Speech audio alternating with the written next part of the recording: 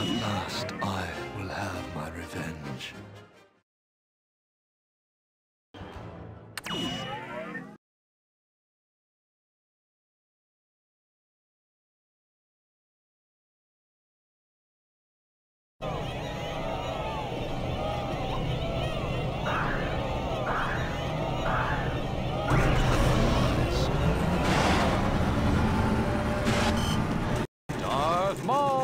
up to first place.